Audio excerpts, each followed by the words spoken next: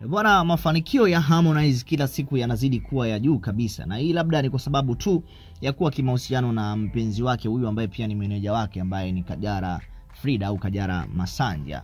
Ni kwamba eh, kuna safari ambayo eh, ipo ni kwamba wanategemea kuelekea UK, United Kingdom. Kule ni kwa sababu ya swala zima la kwenda kufanya show ambayo ni kutokana na ile albamu yake ya Afro East, anaenda kuendeleza kui eh, kuipromote mpaka huko katika mm, mataifa mengine. Na Harmonize ni kusanue tu, ni msanii wa kimataifa jamani, wala sio msanii wa ndani ya nchi tu peke yake, kwa sababu kufanya show kama hii hapa afu katika ukumbi mkubwa kama ule wa Olinx ni kwamba huyu e, bwana anaonyesha kabisa kwamba yeye e, ni mahili sana. Sasa kiukweli ya mapenzi yao bwana yapo kila mahali na hawataki kabisa wala wakubali kabisa kuweza kuachana hata sekunde moja.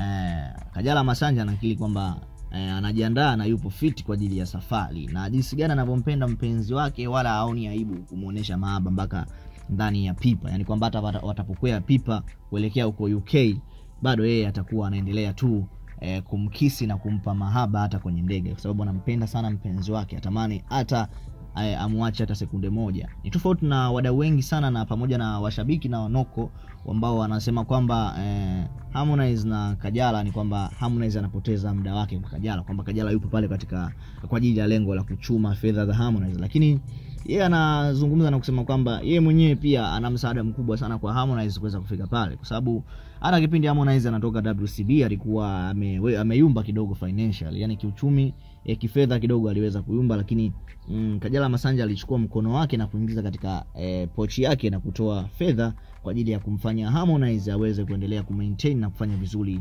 katika game, na ndio maana tuna, tunaona kabisa pale e, katika e, biography ya Kajala Masanja ameandika kabisa ni meneja wa Harmonize, kwamba ni meneja wa kike wa Harmonize. Msanii anaweza kaa na meneja mpaka watano, kwa hivyo meneja mmojawapo wa Harmonize ni huyu hapa Kajala Masanja. Jamani Waswahili tuachane jamani na kuendeleza kufanya mambo kama haya, kutabili vitu ambavyo havipo. Hawa watu bwana, mapenzi yao ni ya kweli. E, labda tu kikubwa ambacho mnatakiwa mzungumze labda ni umri wao tu, kwamba Harmonize ni mdogo kuliko Kajala, lakini kushana swala la mapenzi, Kajala anampenda sana Harmonize. Una yapi ya kushare nasi?